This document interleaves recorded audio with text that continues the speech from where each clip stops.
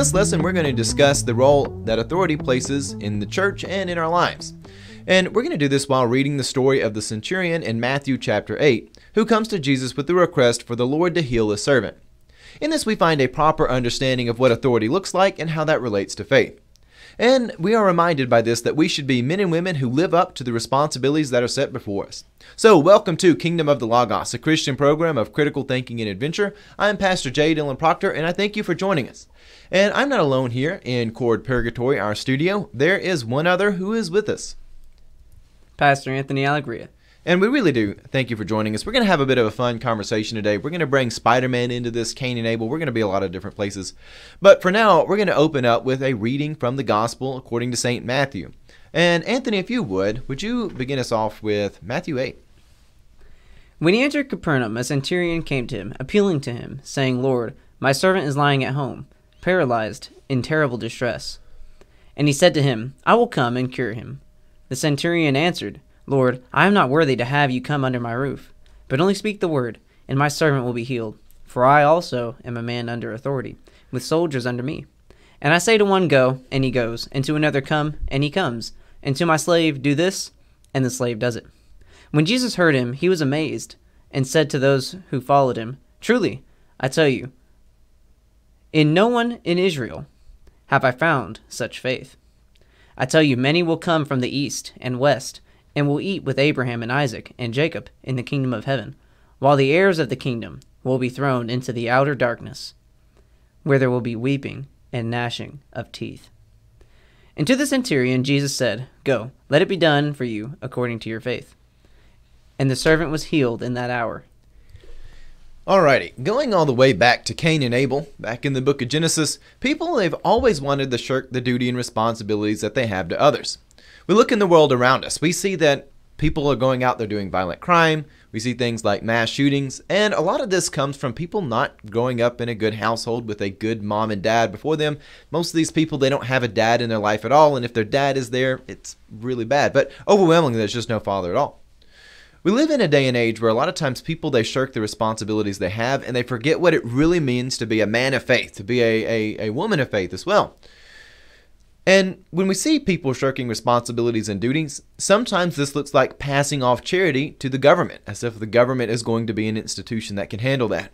Sometimes it looks like turning our backs to problems, and in the worst of times, it actually means taking murderous actions against those to whom we are endeared, like Cain there with Abel. He went and killed his brother. And you see, Cain, he did not understand authority. He lived a life that was about his desires and his will. It was Abel, his brother, that understood that God was the one who decides good and evil, not oneself.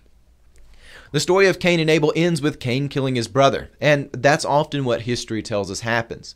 Evil takes joy in killing that which is virtuous and is correctly bent towards God.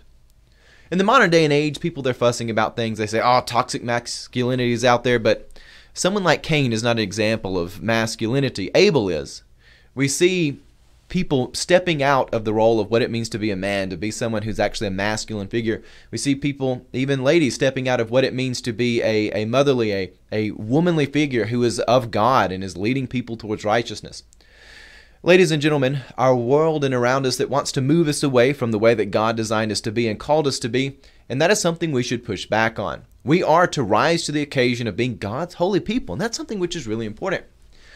So let's talk about Spider Man. I don't know if you out there like Spider-Man. It's one of the, the characters I like. I've always really loved a lot of the Spider-Man stories. Um, the Spider-Man villains have always been really interesting to me. They're they're really well constructed. Um, going back to the Sam Raimi series, that one with Tobey Maguire, I think they do a really good job of depicting the character. And one of the themes that you find about Spider-Man is he is this young man who is kind of at that coming of age, kind of young adult scene where you're really figuring out who you are, and he has to rise to the occasion of being the man that deals with the neighborhood problems. Again, his whole catchline is he's the friendly neighborhood Spider Man. Um, I'm not here to beat up on the MCU and the Marvel stuff, but Spider Man, when he kind of becomes Avenger, he goes a little bit more cosmic and it kind of loses the truth of who that character is.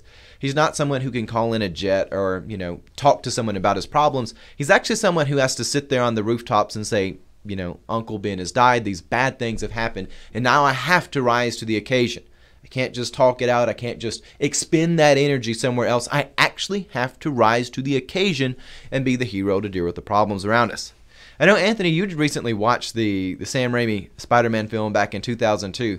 But really, something you find in that is somebody rising to the occasion and really fighting villains who are older men who did not rise to the occasion of what it means to be righteous. They they kind of shirked the responsibility. They took more the path of Cain than Abel.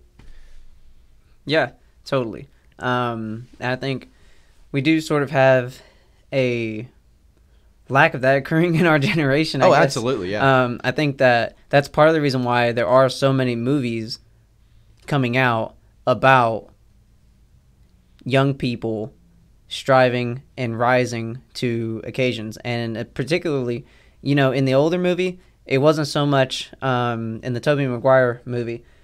There was this sense that it was absolutely necessary, and there was never a question of whether or not I'm going to do this. It was more like as soon as I understand the situation, I'm going to step up to the responsibility. Yeah.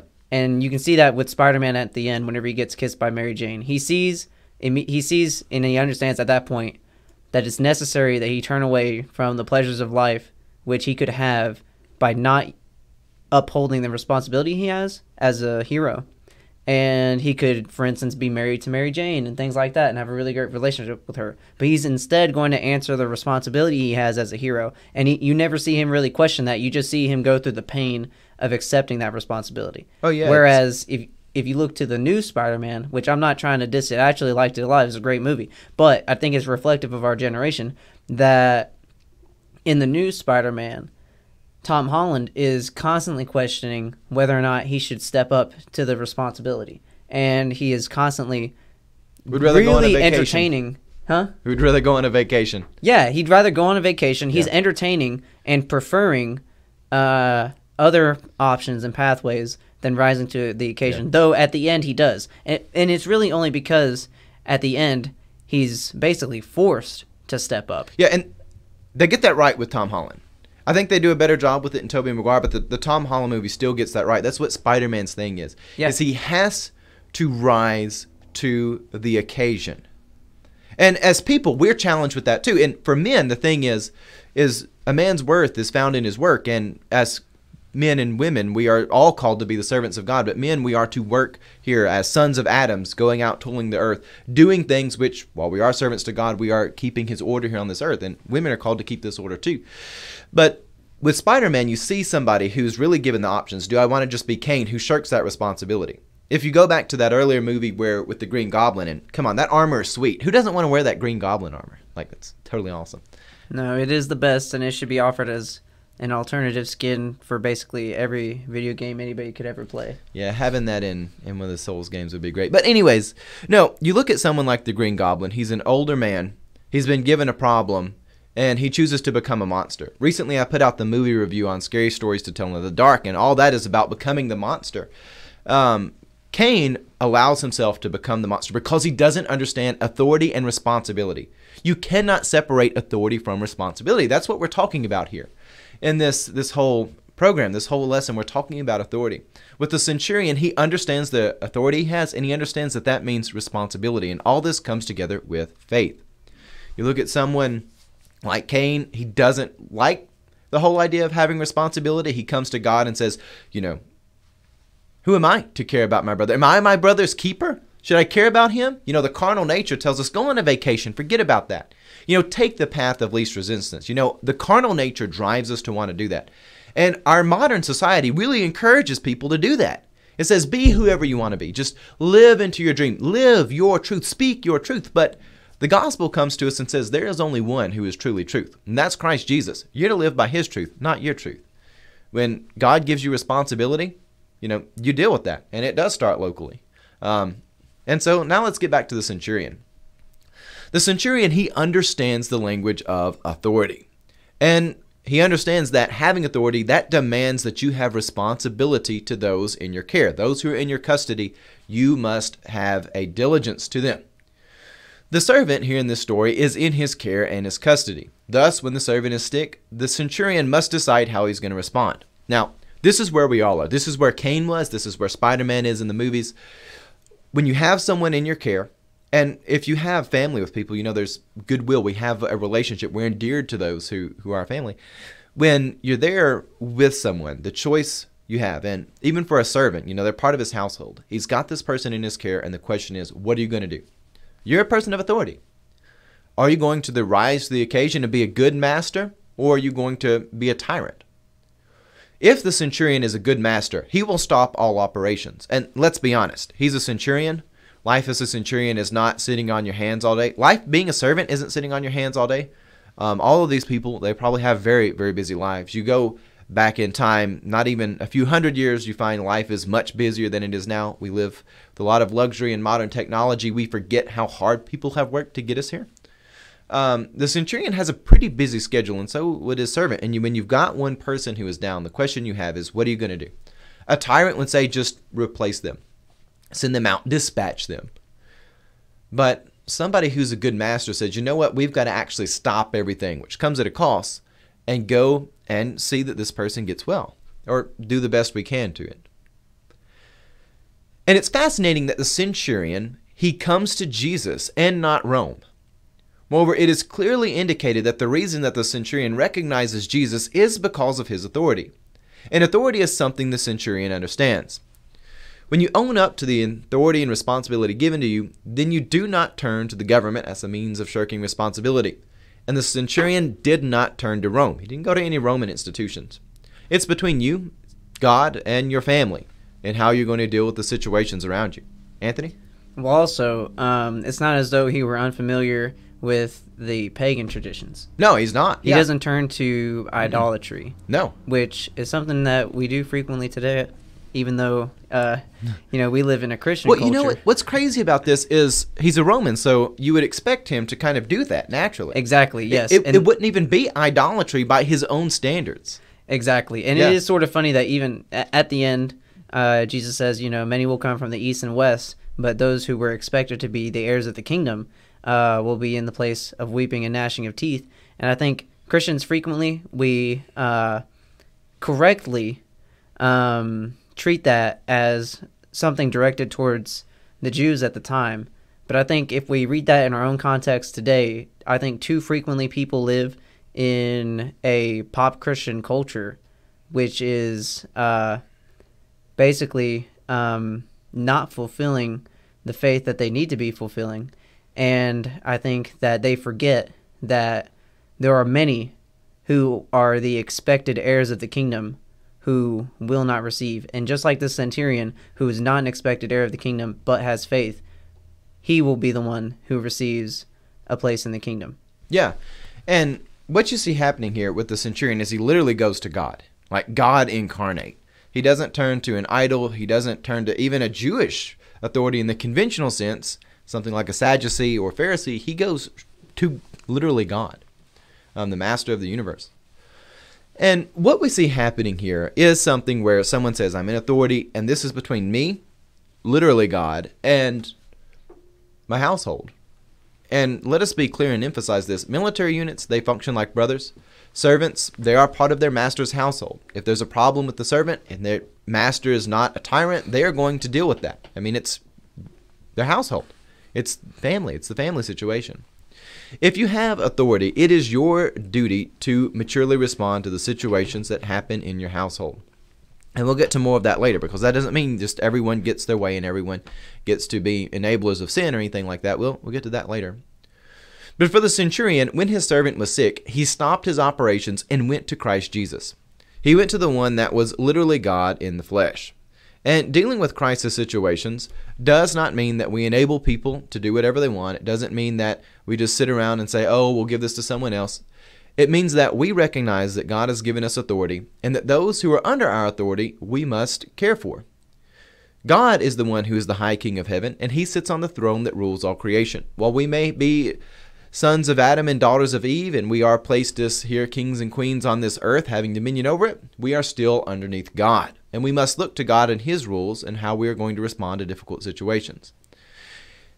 And one of the things which is also fascinating to me, it's always been a little bit perplexing to me, but the older I've gotten, the more I really understand it, is that when it comes to Jesus, Jesus moves the conversation from authority to faith. There's clearly a connection between authority and faith. this has always been something which is a little bit strange to me. I don't know if you've ever read through this text and been like, that kind of hits me weird. I feel like there's a missing link. But the older I get and the more I understand about authority, the more the two kind of click together. And it's clear that the centurion's understanding of authority signifies somehow that he understands how God relates to humanity. Because something about humanity, even going all the way back to Cain and Abel, God has always had a covenant with his people. And his he's had a covenant with his creation. And again, if you are an authority, you have responsibility. If you're under authority, you know, you have allegiance. There's this interesting idea about authority and jurisdiction. If you live under the jurisdiction of someone, well, they're supposed to be helping take care of you and helping be loyal to you in whatever way that may be. And in response, you be loyal to them. You are allegiance to them. You look at this in sort of a, a local level, you know, you look in your community, you have a bit of a, a bit of loyalty there with everyone. There's an idea of a mutual allegiance. Well, when we look to God, who sits in the throne of heaven, he rules all creation. He is loyal to his creatures, which means God has diligence, God has a covenantal relationship with them. And even though a lot of times humanity is really bad about that, in fact, most of the time humanity is bad about living up our side, God still keeps up his responsibility to us. And it's it's this is where the connection between faith and authority happens. The centurion understands that if somebody in my care is sick, I must deal with that. I don't get to throw it off to Rome. I don't get to go somewhere else and say, oh, let's have some policy to deal with this. He says, this is something I need to deal with. And he goes to God. It's between him, God, and the person with the problem. And Jesus looks at that and says, This, you understand something about how God works with creation because Christ Jesus, the Messiah, he is here under the will of the Father. And he's here because God has due diligence with his creation. It is clear that the centurion's understanding of authority signifies how God relates to humanity. The centurion does not live his life for himself, nor to be a tyrant. The servant lives his life as duty to others, and he recognizes that Jesus is here because God is faithful and his duties are to his creation. Now, God wouldn't have to do that, but God is a loving God who's not a tyrant. The centurion the centurion truly understands that the covenant between God and humanity is something which is very strong, and he understands this better than many of the Israelites. Jesus recognizes that the centurion has faith because the centurion has a deep understanding of duty to those beneath him. He understands that when has a duty to those he commands. He has a duty to make sacrifices on behalf of those in his care. And see, this is really what the world needs. The world needs men and women of faith who understand authority. Even when the world is in spite of God and is acting like a tyrannical child who thinks it has more power than it does, God has still commanded us to be a holy people. And the world is still hungry for righteousness, even if it doesn't realize it. Anthony? I think uh, what you said about faithfully following authority is very very interesting, especially in light of how the world treats that authority. And so um, you compared how the world acts to uh, a bad child. I forget the exact language that you used, but a child that's not behaving well. And it made me think just now whenever a child doesn't behave well and you are correcting them, do you address the child in the terms that the child has come to you with? You know, whenever a child thinks that it's not the appropriate time for bedtime or that it is perfectly safe to run across the road for these reasons, do you address the child in terms of their own logic and uh, their own reasoning? Or do you simply say that, you know, I am your parent Yeah. or I am the person in place of you right now and I am telling you that I'm telling you with the authority that's been entrusted to me as either your parent or your guardian that um, it is your bedtime. You need to brush your teeth too, or uh, you know you need to stop playing in the street or whatever else. I think in the same way, that is how we should address a lot of the problems of the world until they come seeking understanding rather than coming in the name of challenge. Because I do believe that our faith is a rational one, certainly, and I believe God gave us reason for a reason to use it, and I believe that it's one of our strengths that we're called to use in the name of God. But um, I also have come to realize that whenever people come in the name of challenge, they haven't come for a rationale, they've come for religious contest in a way. Yeah. And your rationale is not going to be what turns their hearts. It is going to be the testimony of your life and the testimony they see of the Spirit at work if there is going to be change. Um, and even that is not going to convert everybody. And so uh, I think in many ways, we should not justify the authority God has with reason as frequently as we do for the sake of those who have come in the name of challenge, and instead we should simply assert uh, that that authority is real. Well, I mean, Jesus, he doesn't reason with the devil in the wilderness because that's not why the devil's there. Yep. And and in the story, you want to know who's not part of this conversation between Jesus and the centurion? The one being healed. Yeah, the one being healed. It, it's one of those little details that you might miss when you read through this, but it's totally there. The servant is not part of this conversation. We have no idea what the servant wants. He may have asked his master and say, "Oh, please go find the Lord of creation who is incarnate." I don't know. Um, but we know that the centurion, he took it on himself and said, I need to go to the right authority for this.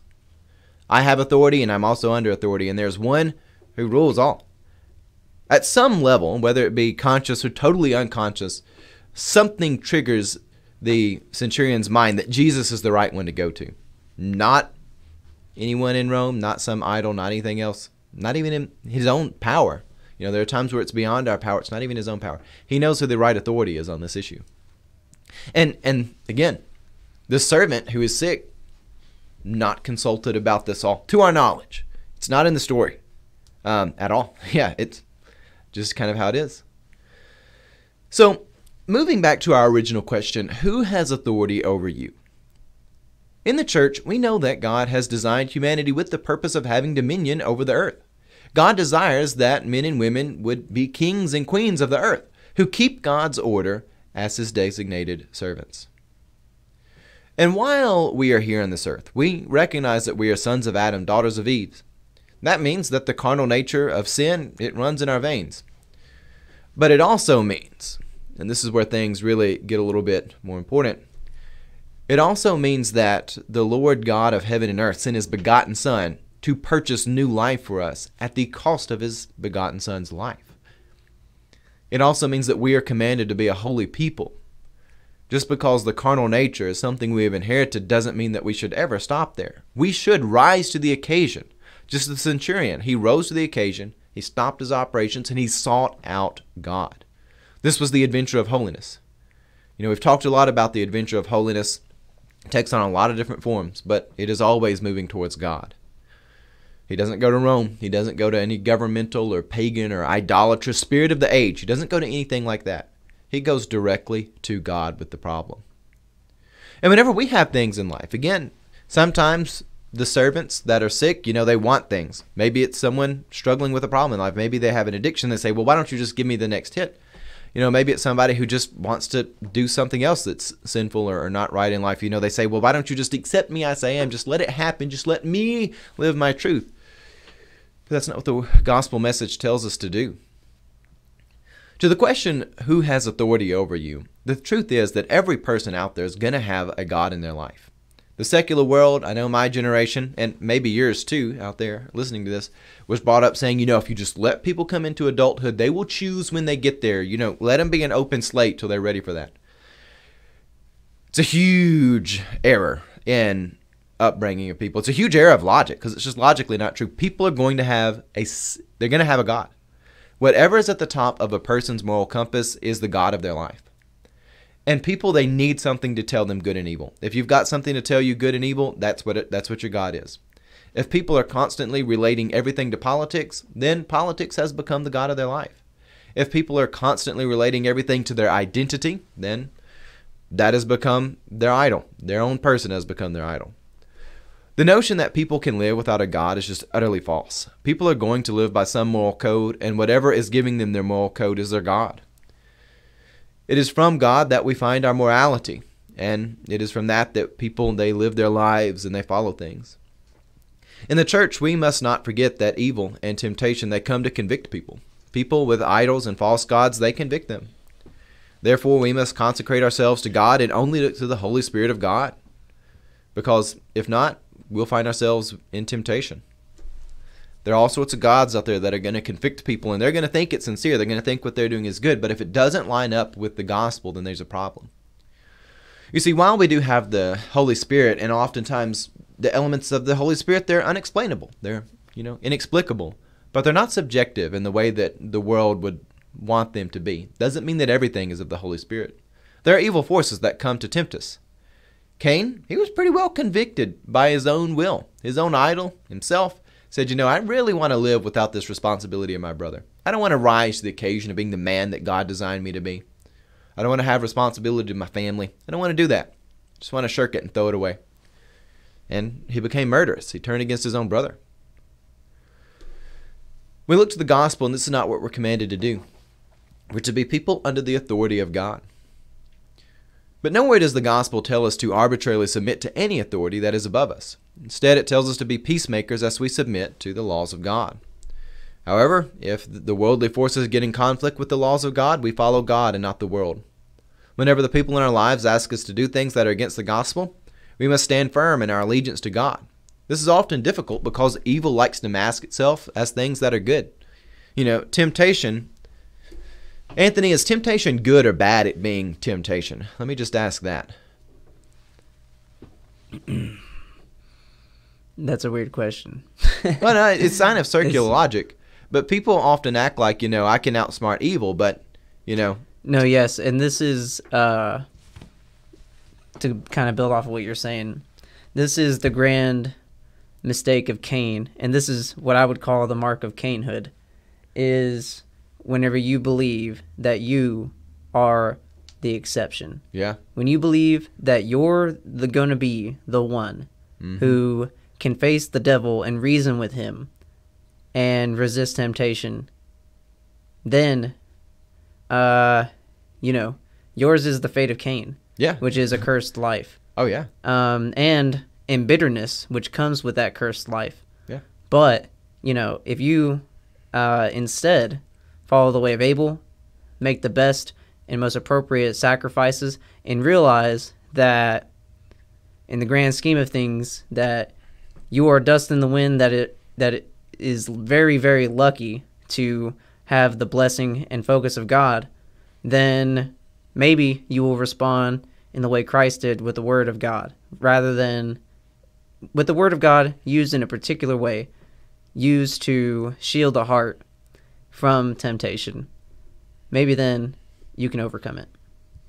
Yeah, you know, temptation, it's in the name, is really good at being temptation. And what tempts people is really different from person to person. But the truth of it is, is temptation is pretty darn good at tricking you to thinking that it's good. You know, Eve, there in the garden, you know, Cain's mother, she was sitting there with that fruit, and she's like, you know, this is good for food. That is what it says. And it's it is uh, crazy. what's, and you know what's crazy? she was probably right that it was good for food, but that wasn't the whole story. Yep. And she responded with the word of God. Yeah. I'm not permitted to eat this. There's one tree in the garden that I'm not allowed to have. Yeah. yeah. Uh, maybe we would not live in the tragedy of the world that we do today. Yeah, and and you know that's the thing though. Um, temptation is good at tricking you that things are evil or good. That's just how it is. And people are going to have something in their life telling them what is good. And if it's not God, there's a problem. And when we have authority, we must rise to the occasion of the design that God made us for. We must rise to the authority given to us. The church is not accidental in God's will, it's an instrument commanded to be holy. We are certainly not the author of God's will, but God has all the same called us to submit to Him so that we could be instrumental in His will on earth. He has given us the great gift of responsibility on this earth. And we must be good stewards of the gospel. We must have great diligence in our, our care. Cain did not rise to the occasion of having the responsibility over his brother. Rather, he chose to kill him. A lot of times people do that. They see something they don't like, they'd rather just send it away. This is not what God called us to do. However, we look in comparison, the centurion, he did rise to the occasion. He didn't give in to the temptation to just look at the self, to live out, you know, his truth, his interest, his desire. He can't afford to do that. He's a centurion. His worth is found in how good he is at being a centurion, and that's what his position is in life. And even by the standards of the world, he understands that. And it's through that language of authority that he looks to God. And again, he's obviously he's a, a centurion. The chance of him knowing much of Jewish culture is not very high. But he looks to, to Jesus and says, You know what? That man, he has authority. It's divine authority. And I recognize that. I, speak the language of authority. I, I see that there is something going on here. He's here because he has a duty to creation, and I have a duty to those in my care. Anthony? Well, uh, he also demonstrates his understanding of um, Jewish tradition in that he understands his own presence to be unclean. Oh, yeah. A lot of times we see uh, the centurion say that Jesus should not come into his house, and we think that it is simply because he's just that humble. And maybe he was just that humble. But there's also the looming uh, cultural aspect of it, which is that Jews considered the houses of the Gentiles unclean, which most of the time, to the Jewish standards, they probably were. There was probably unclean food inside the house. There were probably things that they considered to be unclean present within the house. And so it's not just like a discrimination sort of thing. It's more like a, if you actually analyze it according to uh, the rules of their practice, it would be basically almost a 100% probability that you would come into contact with something unclean in the in the house of a Gentile. And so, you know, it was made part of the culture that um, the houses of the Gentiles were unclean. And he could be demonstrating very well that the centurion, that is, he could be demonstrating that he recognizes the authority of the Jewish tradition and that um, his household is not fit for Christ. And but in faith, he uh, approaches Christ with the belief that God loves all of creation, including the servant of the Gentiles. Well, it certainly doesn't stop him. Yes, He, he is not disabled by his uncleanliness. He He's not. realizes he has a duty. He has a duty to the servant. He's got to make good on that. that is actually really beautiful. That's a point that I made whenever I preached um, concerning the cleansing of the leper right before this. Is that according to the law, uh, the leper very well should have stayed away from Christ, but that did not stop him because he had faith that rather than defiling Christ, that Christ would be able to heal him. Yeah, and and again, as we were talking about earlier, we must rise to the occasion. You look at someone like Spider-Man; it's a great archetype of a man rising to the occasion to stop others who didn't rise the, to the occasion. And the centurion here, he is doing just that. And we in the church, we must rise to the occasion of the authority given to us. We are created in the image of God, and all of us are either a son of Adam or a daughter of Eve. And while that does mean that the carnal nature of sin runs through our veins, it also means that our salvation was purchased at the price of God's own Son, because God is faithful to us. And as we close this out today, think about the authority you have in life. Think about who you give authority to. You know, are you giving it to God as you should? And remember that we are commanded to rise to the occasion of holiness. We are rise. We are commanded to rise to the occasion of holiness and bless the world around us. And with that, God love you and have a blessed day.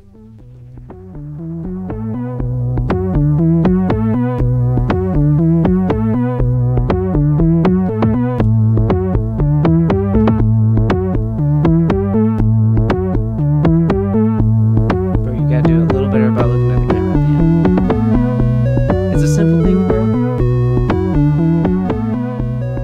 It makes the ending so much better. Hey, stop it. Trying to do this music right now and it's gonna come out bad.